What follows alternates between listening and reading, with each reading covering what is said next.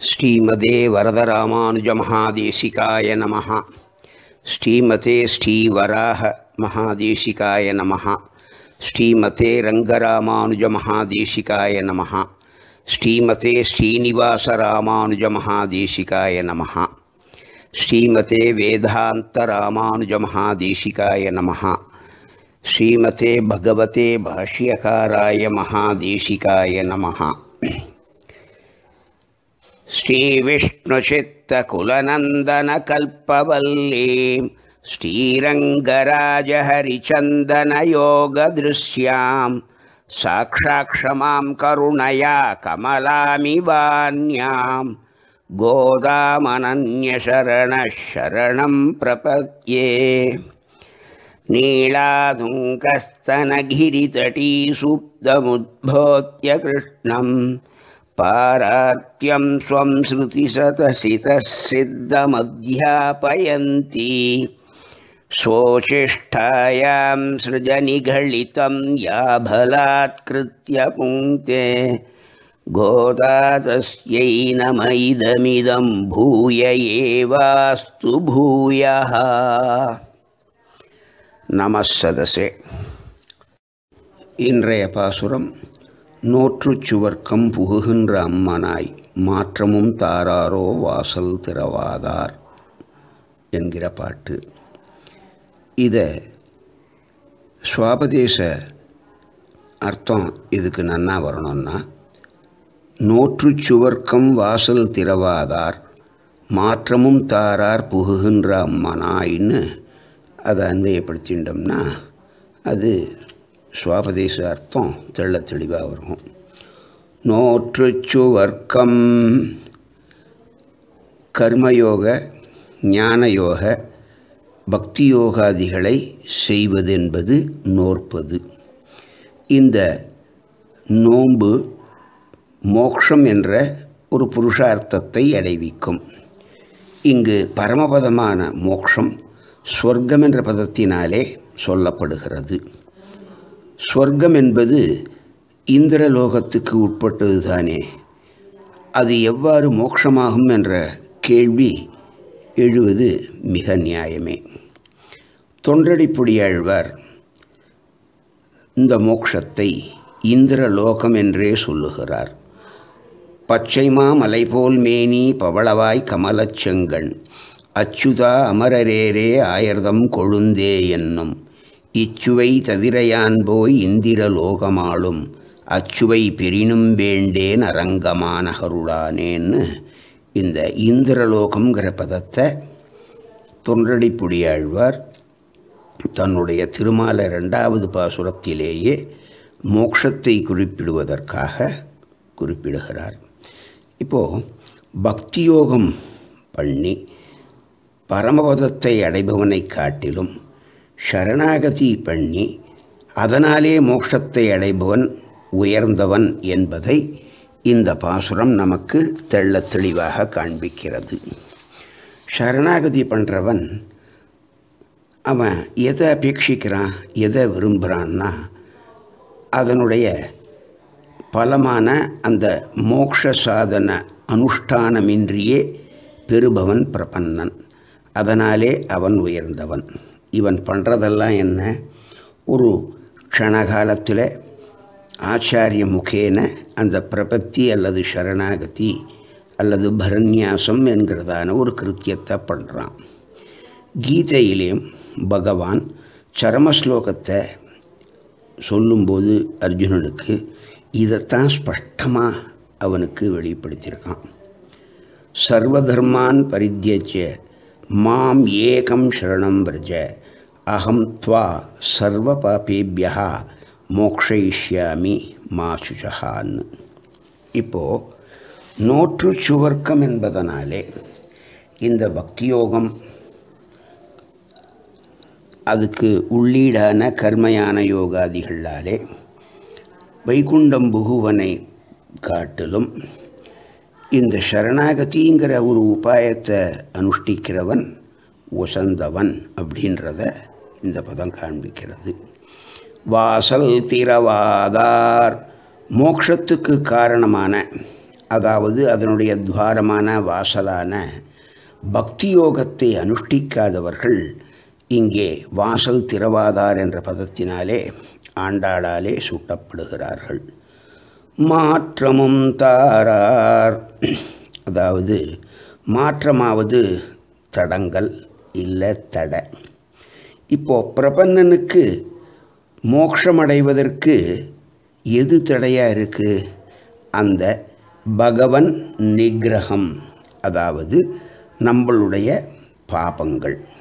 இப்போது மிக்க இறைநிலையும் மெய்யாம் உயர்நிலையும் தக்க நெறியும் தடையாகி தொக்கிய ஊழ்வினையும்னர் அந்த ஊழ்வினை தான் நம்மளுடைய பாப புண்ணியங்கள். அதுதான் நமக்கு மோட்சத்தை அடைய ஒட்டாமல் தடுக்கிற தடை. இது நம்மளுடைய சிற்றின்பமும் அஜானமும் தான் இந்த தடை. இது பிரபன்னனை மோட்சம் சென்றடைய முடியாதபடி தடுக்கிறது. இப்போது பிராமணனாலே கொல்லப்படுபவன் மோட்சம் ஒரு காலம் அடைய மாட்டான்னு சாஸ்திரம் சொல்கிறது ஆனால் பிராமணனால் கொல்லப்பட்ட ஜடாயு மோட்சம் அடைந்ததை நாம் அனைவரும் நன்றாக அறிவோம். இப்போது ராவணனான பிராமணனாலே கொல்லப்பட்ட ஜடாயு எப்படி மோட்சத்துக்கு போனான் இதைத்தான் நாம் சுவாமி தேசிகன் சாபாதிர்வா உபனிபதிதகான்னு சொல்கிறார் நியாய சித்தாஞ்சனத்தில் இப்படி இந்த பிராமணனாலே கொல்லப்பட்டவன் மோட்சத்தை அடைய மாட்டான் என்பது சாஸ்திரத்திலே சொல்லப்பட்டிருந்தாலும் கூட அது விதி விகிதமாக இருந்தாலும் கூட அதுக்கு இந்த பிரபத்தி பண்ணிண்டவனுக்கு அது ஒரு எக்ஸப்ஷனாக ஆகிறது.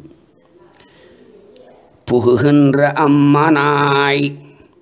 மோக்ஷத்தை அடையும் எஜமானனே. அம்மா அம்மன்னா எஜமானன் அர்த்தம். அம்மனாய்ங்கிற பதத்தினாலே ஹே எஜமானனே என்றார். இப்போது புகுகின்ற அம்மனாய்ங்கிறதுனாலே அந்த மோட்சத்தை அடைகின்றவனான எஜமானனே. அவனை பகவானே வந்து எதிர்கொள்ளாராம். வந்து அவர் எதிர்கொள்ள மாமணி மண்டபத்து அந்தமில் பீரின்பத்து அடியரோடு இருந்தமைன்றார் நம்மாள் வாரும் தன்னுடைய பத்தாம் பத்து ஒன்பதாம் திருவாய்மொழி கடைசியில். நாற்றத்துழாய் முடி நாற்றம் என்றால் வாசனை மனம். இது இந்த இப்போ தமிழில் இந்த நாற்றம்னாலே நம்ம துர்வாசனை. அதைத்தான் ஒரு துர்மணம் இருக்கே அதைத்தான் வா நாற்றம்னு சொல்கிறோம் ஆனால் தமிழில் நாற்றம் என்றாலே நல்ல வாசனைன்னு தான் அர்த்தம். இப்படி நல்ல வாசனை உடையது துழாய் துளசி. அதை தன்னுடைய முடியிலே சூடிக்கொண்டிருக்கிறான் எம்பெருமான். அதனாலே துளசி மாலையை தன்னுடைய சிரசிலே சூடிக்கொண்டிருக்குவோன் அந்த எம்பெருமானான ஸ்ரீமன் நாராயணனுடைய திருவடிகளிலே சரணம் புகுந்தவனுக்கு கட்டாயம் மோட்சத்தை கொடுக்கிறேன் என்று அவனே சொல்லுகிறான். அவனே சபதம் பண்ணிருக்கான்.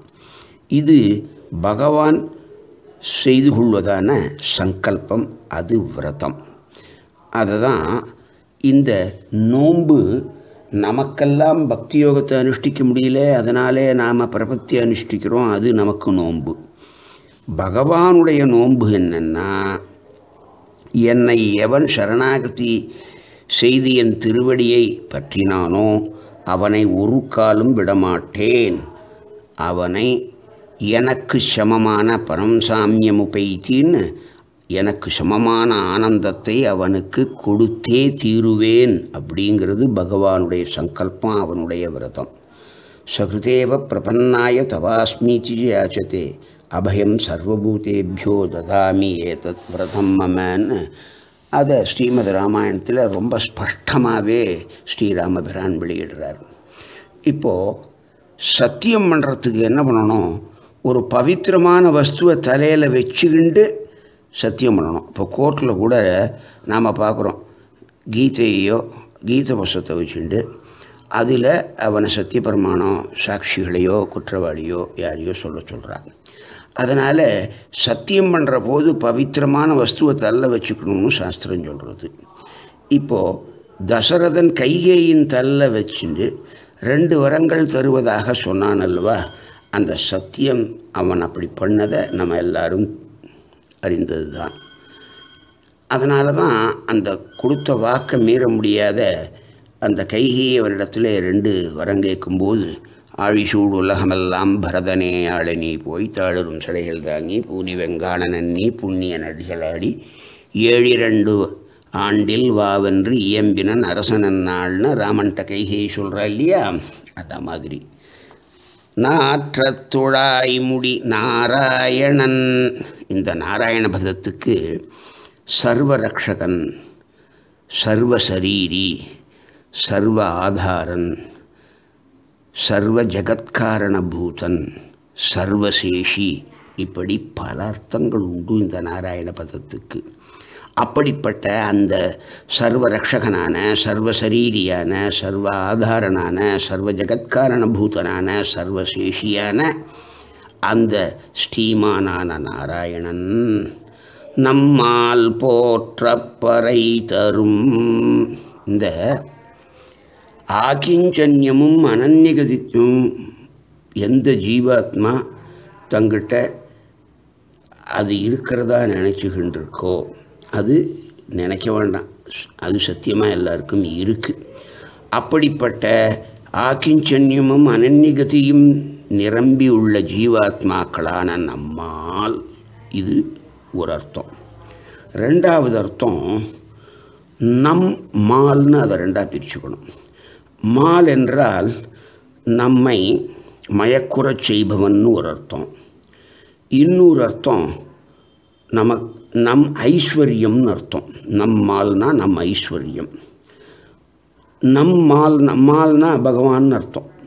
விஷ்ணுன்னு அர்த்தம். அப்போது நம்மால்னா நம் இறைவனான விஷ்ணுன்னு அர்த்தம். அவனை போற்ற துதிக்க அவனுடைய திருவடிகளிலே பரசமர்ப்பணம் பண்ண பறை தரும் மோட்சத்தை கொடுப்பான். சாஸ்வதமான தனது திருவடிவாரத்திலே கைங்கரியத்தை ஜீவாத்மாக்களுக்கு பிரசாதிப்பான். இது துவயமந்திரத்தில் ரொம்ப ஸ்பஷ்டமாக வருது. ஸ்ரீமன் நாராயண சரணௌ சரணம் பிரபத்யே. மந்திரங்களை நேராக சொல்லக்கூடாது. அதனால் கொஞ்சம் விட்டுட்டு நடுப்புற ஏதாவது சொல்லிவிட்டு அதுக்கப்புறம் சொல்கிறது நம்ம பெரியவா வழக்கம். ரெண்டாவது விதத்தில் ஸ்ரீமதே நாராயணாய நமகான்னு இந்த பூர்வகண்டத்திலே நம்மளுடைய உபாய அனுஷ்டானத்தையும் உத்தரகண்டத்திலே நமக்கு எம்பெருமான் பிரசாதிப்பதான அந்த உபேயத்தையும் அதாவது அவனுடைய திருவிவாரத்திலே அசஞ்சலமான நித்திய கைங்கரியம் இருக்கே அதையும் சொல்கிறார் புண்ணியனால் எம்பெருமான் தர்மமே வடிவானவன். கிருஷ்ணம் தர்மம் சனாதனம்னு கொடுத்த வாக்கை என்றுமே தவறாதவன். சத்தியசந்தன் அவன் சர்வதர்மான் பரித்தியஜ மாம் ஏகம் சரணம் பிரஜ. அகம் துவா சர்வ பாபேபியா மோக்ஷயிஷ்யாமி மாசுச்சகான்றான் இப்போது பக்தி யோகம் முதலான கஷ்டமான உபாயங்களை அனுஷ்டிக்க முடியாதவனான ஏ அர்ஜுனா நீ மாம் ஏகம் சரணம் பிரஜ என்னை ஒருவனையே சரணாக பற்று. அப்படி நீ பற்றுவாயேயானால் அகம் நான் துவா உன்னுடையதான சர்வ பாபேபியா எல்லா பாபங்களையும் மோக்ஷயிஷ்யாமி உன்னை எல்லா பாபங்களிலிருந்தும் விடுவிக்கிறேன். விடுவிப்பேனோ மாட்டேனோங்கிற கவலை உனக்கு வேண்டவே வேண்டாம். நிச்சயம் விடுவிப்பேன். அதனால் நீ கவலைப்படுறத விடு. மா சுச்சகா கவலைப்படாதேன்னா. இது நாற்ற துழாய்முடி நாராயணன் நம்மால் போற்ற பறை தரும். பறை என்றால் இங்கே மோக்ஷம். அப்படிப்பட்ட அந்த தர்மமே வடிவான கிருஷ்ணம் தர்மம் சனாதனம்னு சொல்கிறதான அந்த புண்ணியனாலே நமக்கு நிச்சயம் மோக்ஷம். நம்ம மோட்சம் அடைகிறத பற்றி நமக்கு கிஞ்சித்தும் பயம் வேண்டாம் கவலை வேண்டாம். அதனால தான் கவலைப்படாதேன்னா. கும்பகர்ணனும் தோற்றுமுனக்கே பெருந்துயில்தான் தந்தானோ. அப்படி எப்படிப்பட்டவன்? பண்டு ஒரு நாள் கூற்றத்தின் வாய் வீழ்ந்த கும்பகர்ணனும் தோற்றும் உனக்கே பெருந்துயில் தந்தானோ. இந்த கும்பகர்ணன் யார்? ஸ்ரீமத் ராமாயணத்தில் அந்த மூணு சகோதரர்கள் இருக்காளே ராவணன் கும்பகர்ணன் விபீஷணன். இந்த ராவணன் ரஜோகுணத்தை தன்னிடத்திலே கொண்டவன். இந்த கும்பகர்ணன் தமோகுணத்தை தன்னிடத்திலே கொண்டவன். விபீஷ்ணன் சத்துவகுணத்தை கொண்டவன். இந்த ராமாயணம் இந்த திருகுணங்களையும் ஒவ்வொன்றையும் பிரத்யேகமாக கொண்ட மூன்று சகோதரர்களை காட்டுகிறது. இப்போது ராமனிடத்தில் ரஜயோகுணமும் கும்பகர்ணனிடத்தில் தமோகுணமும் விபீஷணிடத்திலே சத்துகுணமும் உள்ளதாக காட்டப்படுகிறது. தூக்கத்திலேயே ஆழ்ந்து ஈடுபட்டு விஷய சுகங்களின் சுவையையே அறியாதவன் இந்த கும்பகர்ணன். அப்படிப்பட்ட தமோ குணம் ததும்பிய அந்த கும்பகர்ணன் பண்டு ஒரு நாள் ஒரு நாள் தபஸ் பண்ணான். மூணு பேருமே தபஸ் பண்ணான். அண்ணா தம்பி மூணு பேருமே தபஸ் பண்ணான். தபஸ் பண்ணி சதுர்முக பிரம்மாத்தில் வரம் கேட்கும்போது எனக்கு நித்தியத்துவம் வரணும் அப்படிங்கிறத கேட்குறது நித்திரத்துவம்னு விட்டான். அந்த உச்சரிப்பு சரியாக இல்லாததுனால பிறண்டு போனதுனால தனக்கு மிருத்யுவை தானாக தேடிண்டவன் இந்த கும்பகர்ணன். அப்படிப்பட்ட அந்த பண்டு ஒரு நாள் அவன் செய்த அந்த தபஸினுடைய விளைவாக கூற்றத்தின் வாய் வீழ்ந்தான். இப்போ அவனுடைய செயல் எப்படி இருந்ததுன்னா சாப்பிடுவான் நல்லா தூங்குவான். தூங்கினதுக்கப்புறம் ஏ எழுந்திருப்பான் சாப்பிடுவான். இப்படியே சரீரத்தை வளர்த்தவன்.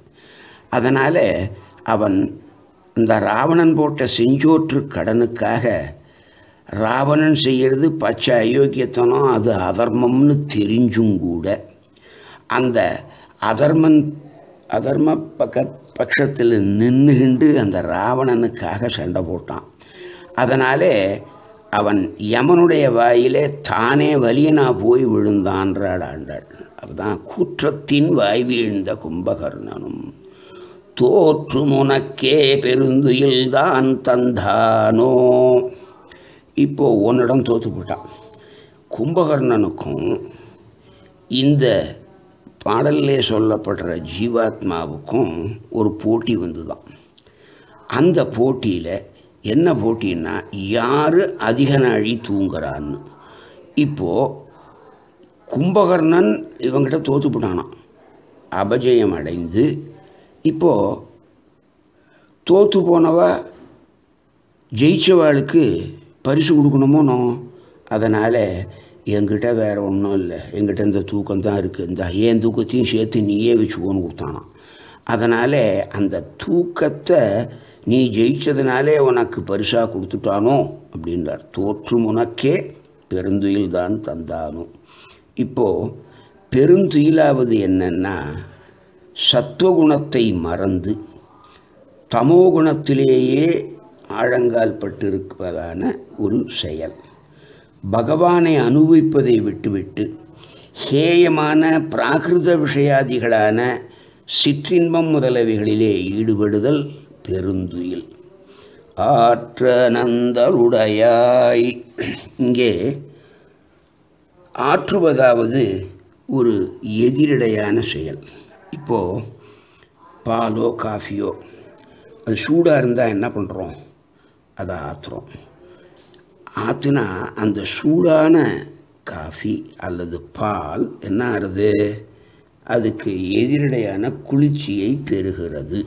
அப்போ ஆற்றுவதாவது அதனுக்கு எதிர்மறையான ஒரு செயலை அது அந்த குணத்தை அதுக்கு அதை கொள்ளும்படியாக நாம் பண்ணுறதுக்கு பேர் ஆற்றுவது. அப்போது இந்த அனந்தலாகிற எம்பெருமானை மறக்கடிக்கிற விஷயங்களை பெருந்துயில் ஆற்ற அனந்தலுடையாய் இப்போ இந்த எம்பெருமானை மறக்கடிக்கிற விஷயங்கள் இருக்கே அது ஆற்றும் அது ஆற்றுறதுன்னா அதுக்கு எதிர்மடை என்ன? எம்பெருமானை அடையச் செய்யும். எம்பெருமானை பற்றி சதா சர்வகாலம் மனது சிந்திக்க வைக்கும். அப்படிப்பட்ட அந்த ஆற்றலை உடையாய். அந்த சக்தியை கொண்டவனான ஹே ஜீவாத்மாவே அருங்கலம் நீதான் சத்பாத்திரம். நீதான் எம்பெருமானுக்கு மிகவும் பிரீத்தமானவன். நீதான் அவனுடைய ஹிருதயங்கமன். அதனால் பகவான் தனது மார்பிலே இவனை கௌஸ்துபமணியாக வைத்து கொள்கிறான். புருடன் மணிவரமாக பொன்றாமூல பிரகிருதி மருவாகன்னு ரகசிய திரைசாரத்திலே சுவாமி தேசிகனுடைய திருவாக்கு. இப்படிப்பட்ட அந்த ஆற்ற அனந்தலுடையதான அருங்கலமான அந்த எம்பெருமான் தனக்கு ஆத்மாவாக தனக்கு ஹிருதயங்கமனாக எவனை கொள்கிறானோ அப்படிப்பட்டவன். தேற்றமாய் வந்து ரஜோ தமோ குணங்கள் கலசாததான சத்வகுணத்தினுடைய அந்த சத்துவம் தான் அவன் புத்தியில் இருக்குது ரஜோகுணம் தமோ குணம் இல்லை. அப்படிப்பட்ட மிக மிக தெளிவை உடையவனாக வந்து திற. இப்போது திற என்றால் ஆத்ம ஞானத்தை பெற முயற்சி பண்ணுவது. இப்போது நிஜ வாழ்க்கையிலுமே நோற்று சு சுவர்க்கம் புகுந்தவர்கள் ரெண்டு பேர் நம்ம ஆச்சாரிய பரம்பரையில். ஒருத்தர் மகாபூர்ணர் என்று அழைக்கப்படுகிற பெரிய நம்பிகள். மற்றொருவர் குலசேகர ஆழ்வார். இந்த பெரிய நம்பியை பற்றி எதிராஜ சப்ததியில் நம் தூப்புல் வளலாம் சுவாமி தேசிகன் தயானிக்னம் யதீந்திரஸ்ய தேசிகம் பூர்ணமாஸ்ரயே ஏன விஸ்வசுஜோ விஷ்ணோர் அபூரியதமனோரதான்னு உத்கோஷிக்கிறார் அதனால் இங்கே நாம் இதை எப்படி வச்சுக்கணும்னா வாக்கிய குரு பரம்பரையிலே பாஷ்யக்காரருடைய ஆச்சாரியரான பெரிய நம்பியை வைத்து கொள்ள வேணும் பெரிய நம்பிக்கு ஐந்து அதாவது பாஷைக்காரருக்கு ஐந்து ஆச்சாரியர்கள்னு சொல்லுவார் இப்போது அதில் ஒரு குழப்பம் ஏற்பட்டது. யாரை பிரதம ஆச்சாரியனாக கொள்ளுவது? இப்போது ஒருத்தர் ஏழு எட்டு பேர்கிட்ட காலட்சேபம் பண்ணுறாருன்னு வச்சுக்குவோம் இப்போது யார் அவர் வந்து பிரதானமான ஆச்சாரியராக வச்சுக்கணும்? அப்படின்றதான ஒரு சங்கை ஏற்படும் போது ஒரு சந்தேகம் வரும்போது அதுக்கு சாஸ்திர மூலமாக என்னென்ன பதில் சொல்லிருக்குங்கிறத நம்ம விரிவாக ஆராய்ஞ்சா அதில் எவன் ஒருவன் இவனை வைஷ்ணவனாக ஆக்கினானோ நாம் வைஷ்ணவனாக எப்போ ஆறோம்? நமக்கு அந்த பஞ்ச சம்ஸ்காரங்களாகிறதே இந்த சமாசனம் மாறுதே. அப்போது அப்போது பஞ்ச சம்ஸ்காரம் நமக்கு எந்த ஆச்சாரியன் பண்ணி வச்சானோ அவன்தான் முதன்மையானவன் ஆச்சாரியர்களிலே. அப்படின்னு ஒரு பட்சம் ஆனால் இன்னொரு பட்சம் இதை ஒத்துக்கலை. இது வைஷ்ணவன் ஆனால் மட்டும் போருமா? அவனுக்கு பரம்போத பிராப்தி வேணாமா? அப்போது சாஸ்வதமான எம்பெருமானுடைய திருவடி கைங்கரியமான அந்த பரமபதத்தை நமக்கு அடையச் செய்தவர்கள் யார்? நம்மை அடையும்படியாக செய்தவர்கள் யார்னா நமக்கு பரநியாசம் அல்லது பிரபத்திய பண்ணாரே அந்த ஆச்சாரியன். அதனாலே அவரே முதன்மையானவர் அப்படிங்கிறத ஒரு சாரார் சொல்கிறார் இப்போது இந்த சமாசனாச்சாரியனோ சத்தியா இல்லை நமக்கு பரநியாசம் பண்ணி வச்சாரே பரசமர்ப்பணத்தை பண்ணி வச்சாரே அந்த ஆச்சாரியார் வஸ்தியா? அப்படிங்கிறது ஒரு பக்கம் இருக்கட்டும். நம்ம நடாதூர் அம்மாள் அவருடைய சிந்தனை வேறு விதமாக இருக்குது பிரபன்ன பாரிஜாத்தம்னு ஒரு சீகோஸ்த எழுதினார். அதில் இந்த ரெண்டு ஆச்சாரியர்களை காட்டிலும் எவன் காலக்ஷேப ரூபமாக ஆத்ம ஞானத்தை தன் சிஷ்யனுக்கு பிரசாதித்தானோ அவனே ஆச்சாரியர்களே சிரேஷ்டர். அவனைத்தான் முதன்மையாக ஆச்சாரியராக நாம் கொள்ள வேணுங்கிறது அவருடைய கொள்கை. இப்போது சமாஷ்ணாச்சாரியன் ஒஸ்தியா பரநியாசம் பண்ண பண்ணி வச்ச ஆச்சாரியன் வஸ்தியா இல்லை நமக்கு காலக்ஷேபம் பண்ணி அத்தியாத்ம ஞானத்தை அபிவிருத்தி பண்ணானே அந்த ஆச்சாரியன் வசத்தியா இப்படி இந்த மூன்று ஆச்சாரியர்களிலே யார் முதன்மையானவர் அப்படின்னு நாம் ஒரு விசாரம் பண்ணால் எந்த முடிவுக்கு வருவோம்? நமக்கு என்ன? பாஷிக்காரருக்கு அந்த சந்தேகம் வந்தபோது திருக்கச்சி நம்பிகள்கிட்ட கேட்டு திருக்கச்சி நம்பிகள் சாக்ஷாத் வரதன் காஞ்சியிலே வரதங்கட்டியே நேராக போய் விண்ணப்பம் பண்ணி அந்த பெருமாளே பதில் சொல்ல கேட்டார். இப்போ நாம் இந்த சந்தேகத்தை யார்கிட்ட போய் கேட்க முடியும்? இல்லை நமக்கு அந்த பாஷ்யக்காரருக்கு கிடைச்ச மாதிரி திருக்கச்சி நம்பி கிடைப்பாரா? கேட்குறதுக்கு. அதனால் இதில் அவாவா என்னென்ன மாதிரி சம்பிரதாயத்தை சேர்ந்தவாளோ என்னென்ன இதோ இப்போது பொதுவாகவே இப்போது நாம் தற்காலத்தில் இருக்கிற இந்த முனித்திரிய மடை ரெண்டு தானே சம்பிரதாயம் இதில். தென்னாச்சாரியால் அவள் பண்ணுறது அந்த பிரபத்தியை பண்ணிக்கிறது இல்லை அதனால் அந்த பிரபத்தி பண்ண ஆச்சாரியன்ங்கிற பற்றி அந்த கொஷின்னு எழாது. இப்போது பரவலாக பலராலே ஒத்துக்கொள்ளப்பட்டதான விஷயம் என்னென்னா சமாஷ்ணம் பண்ண ஆச்சாரியனை விட பிரபத்தி நமக்கு பண்ணி வச்சாரே அந்த ஆச்சாரியன் வசத்திங்கிறது தான் நம்ம பூர்வர்களே அதிகமானவர்கள் கை கொண்டது. அதையே நாமும் அப்படியே வச்சுப்போம். ஏன்னா ஒரு டெமோக்ரஸியில் அது மோஸ்ட் ஆஃப் தி பீப்புள் எதை சொல்கிறாளோ அதுதானே எடுத்துக்கணும். அந்த மாதிரி இப்போது நிறையா பேர் இந்த பரநியாசம் பண்ண ஆச்சாரியன் தான் சக்தின்னு சொல்கிறா அதனால் அதையும் எடுத்துப்போம். அம்மனாய் அப்படின்னு சொல்கிறது குலசேகர ஆழ்வாரை. இப்போ ஆழ்வாரில் ஒருத்தர் எழுப்பணுமே. அதனால் அந்த வாக்கிய குரு பரம்பரையிலே பெரிய நம்பியையும் ஆழ்வார்களிலே குலசேகர ஆழ்வாரையும் எழுப்புவதாக அமைகிறது இன்றைய பாசுரம். இந்த குலசேகர ஆழ்வாரின் நோன்பு அது என்னன்னா பகவானுடைய அடியவர்களுக்கு கைங்கரியம் பண்ணுவதுங்கிறது. இவர் பெரிய ராஜா ராஜாவான இவர். அல்லிமாமலர் மங்கைநாதன் அரங்கன்மையடியார்கள் தம் எல்லையில் அடிமைத்திறத்தினில் என்றும் மேவு மனத்தனாம் கொல்லி காவலன் கூடல் நாயகன் கோழிக்கோன் குலசேகரன் சொல்லினின் தமிழ் மாலை வல்லவர். தொண்டர் தொண்டர்களாவரேன்னு பெருமாள் திருமொழியில் ரெண்டாம் பத்தில் சாற்று பாசுரமாக சொல்கிறார் அதனாலே இவருடைய நோன்பு எம்பெருமானுடைய அடியவர்க்கு அடியவனாகத்தான் இருப்பது.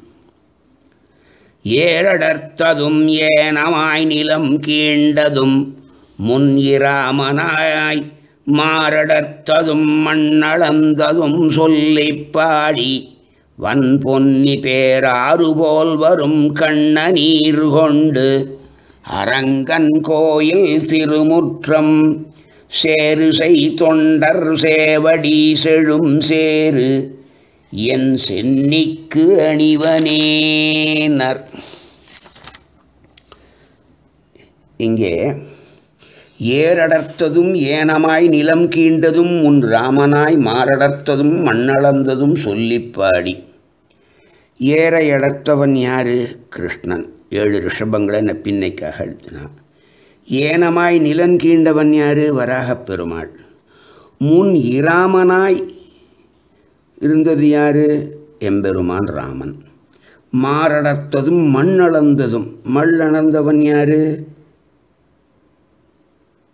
திருவிக்கிரமன். இப்படி இவர்களுடைய கீர்த்தனைகளை சொல்லி பாடி வன் பொன்னி பேர் ஆறு போல் வரும் கண்ணநீர் கொண்டு இப்போ அந்த மத்திய காவேரி காவேரி மத்திய என்றாலும் அந்த மாதிரி அந்த ஸ்ரீரங்கள் பொன்னி நதிங்கிறது காவேரி. அந்த காவேரியில் ஜலம் பெருகினா எப்படி ஜலம் ஓடி வருமோ அந்த மாதிரி இந்த எம்பெருமானுடைய அவதாரங்களில் அவன் பண்ணதான சொல்லி பாடி பாடி இந்த அடியவர்களுடைய கண்ண நீர் அந்த கண்லேருந்து தார தாரையாக பெறுகிற ஜலம் இருக்கே அது இந்த அரங்கன் கோயில் திருமுற்றத்தையே சொத சொதன்னு சேரா பண்ணிவிட்டான். அந்த சேற்றை தன் சிரசுக்கு எவன் ஆபரணமாக கொள்கிறானோ அவன்தான் மிகச்சிறந்த பாகவதோத்தமன்னு ரொம்ப அதி அற்புதமாக சர்வ நிச்சயமாக ஒரு செய்தியை நமக்கு சொல்கிறார் பெருமாள் திருமொழியிலே குலசேகர ஆழ்வார் அப்போது முமுட்சுவான பிரபன்னர்களாகிய நமக்கு நம்முடைய சிரசுக்கு எது மிகச்சிறந்த ஆபரணம்னா இந்த தொண்டர் சேவடி செழும் சேறு இருக்கே அதைத்தான் நாம் சென்னிக்கு அணிய வேண்டும். அதுதான் நமக்கு தலைக்கு ஆபரணம். கிரீடமன்னு. ராஜா சொல்கிறார் அதை. அதாவது ஆழ்வார்களிலேயே ராஜாவாக இருந்தவர் யார்? இந்த குலசேகர ஆழ்வார் தான். அதனாலே இந்த குலசேகர ஆழ்வார் தனக்கு கிரீடம் வசத்தி இல்லை. இந்த சேருசை அரங்கன் கோயில் திருமுற்றம் சேருசை தொண்டர் சேவடி அவளுடைய அந்த கால் அடிப்பட்டதான குழகுழன்னு இருக்கிற அந்த ஜலத்தோடு சேர்ந்த மண்ணும் இதுவும் சேர்ந்த சேர் இருக்கே அதுதான் தன்னுடைய சென்னிக்கு ஆபரணம்னு சொன்னால் இவரை காட்டிலும் அடியவர்களிடத்திலே அந்த பிரீத்தியை கொண்ட ஆழ்வார் மற்றவர்கள் இல்லை என்றே நிச்சயமாக நாம் சொல்லலாம். இதுதான் குலசேகர ஆழ்வார் நோர்க்கின்ற நோன்பு. அது பகவத் பக்தர்களை தனக்கு பூஜ்யர்களாக கொண்டு அவர்களை பூஜிக்கிறார்களே அப்படிப்பட்ட பாகவதோத்தமர்கள் இருக்காளே அவளுடைய கைங்கரியத்தை தான் இந்த ராஜாவான குலசேகர ஆழ்வார் எப்பொழுதும் தன் மனதாலே விரும்புகிறார். நாற்றத்துழாய் முடி நாராயணன் அவன்தான் நம் மால் அப்படின்னு இந்த பாசுரத்திலே பார்த்தோம். அதையே இந்த ஆழ்வாரும் சொல்கிறார் மலையுற்ற கடல் கிடந்தவன் வண்டு கிண்டு நருந்துழாய் மாலை உற்றவரை பெருந்திருமார்வனை மலர்கண்ணனை மாலையுற்று எழுந்து ஆடிப்பாடி திரிந்து அரங்கனெம்மானுக்கே மாலை உற்றிடும் தொண்டர் வாழ்வுக்கு மாலை உற்றது என் நெஞ்சமேன். இங்கேயும் இந்த பாகவதோத்தர்களுடையான ஒரு யசஸ் ஒரு புகழ் அவர்களுடைய மேன்மையானது பிரபாவமானது பறக்க சொல்லப்பட்டது. மாலையுற்று கடல் கிடந்தவன் வண்டு கிண்டு நருந்துழாய் மாலவுற்றவரை பெருந்திருமார்வனை மலர்கண்ணனை எம்பெருமானுக்கு இவ்வளவு அட்ஜெக்டிவ்ஸ் கொடுக்குறார். மாலையுற்று அவன் மேலே ஒரு மயக்கத்தை அடைந்து எழுந்து ஆடி பாடி திரிந்து அந்த ரங்கா ரங்கா ரங்கான்னு இதில் ஸ்ரீரங்கத்தில் வாசம் பண்ணுறவா அந்த காலத்தில் பெரியவா ரொம்ப அனுபவிச்சிருக்கா அதில் எழுந்தா ரங்கான்னு சொல்லிட்டு எழுந்துப்பாளாம். உக்காண்டா ஹே ரங்கான்னு உட்காருவாளாம் தும்மினாலும் ரங்கா எதை பண்ணாலும் ரங்கா ரங்கா ரங்கான்னு அவ வாய் அந்த ரங்கனுடைய திருநாமத்தை சொல்லிகிண்டே இருக்குமா. அப்படிப்பட்ட அந்த ரங்கனையே தனக்கு மூச்சாக கொண்ட தொண்டர்கள் இருக்காளே. அப்படிப்பட்டவர்களுடைய வாழ்வுக்கு மாலை உற்றது என் நெஞ்சம்னு ஆழ்வார் அத்தி அற்புதமாக இந்த பாசுரத்திலே சொல்லிருக்கிறதுனால அந்த நோம்பை நோற்றவர் அடியவர்களுக்கு அடியேன் அடிமை. அவர்களுடைய திருவடி செங் குழம்பு இருக்கே அதுதான் அடியனுடைய சென்னிக்கு ஆபரணம்னு அந்த கிரீடம் அல்ல என்று உத்கோஷிப்பவர் இந்த குலசேகர ஆழ்வார் என்றதான ஆழ்வார். அதனாலே இந்த நோற்று சுவர்க்கம் புகுகின்ற அம்மனாய்ங்கிற பாசுரத்துக்கு ஒரு ஆழ்வாரை எழுப்புறதுங்கிறதான ஒரு பத்ததியிலே இந்த பாசுரமானது குலசேகர ஆழ்வாரை எழுப்புவதாக அமைந்த பாசுரம்னு சொல்லி அடியே நின்றைய பாசுரத்தை தலை கட்டிக்கிறேன் சதமகமணி நீலாஷாருகல்லாரகஸ்தா ಸ್ತನಭರಣಮೀತಾಂಗೀ ಸಾಂದ್ರವಾತ್ಸಲ್ಯ ಸಿಂಧು ಅಳಗಮಿಹಿದ ವಿಶ್ವಕ್ವಿರಾಕೃಷ್ಟನಾಥ ವಿಲಸತಿ ಹೃದಿ ಗೋಧ ವಿಷ್ಣುಚಿತ್ತಾತ್ಮಜಾನಃ. ಶ್ರೀಮತ್ಯೈ ವಿಷ್ಣುಚಿತ್ತಾರ್ಯಮನೋನಂದನಹೇತವೇ नन्दनन्दनसुन्दर्यै घोतायै नित्यमङ्गलं कवितार्गिहसंहाय कल्याणगुणशालिने श्रीमते वेङ्कटेशाय वेदान्तगुरवे नमः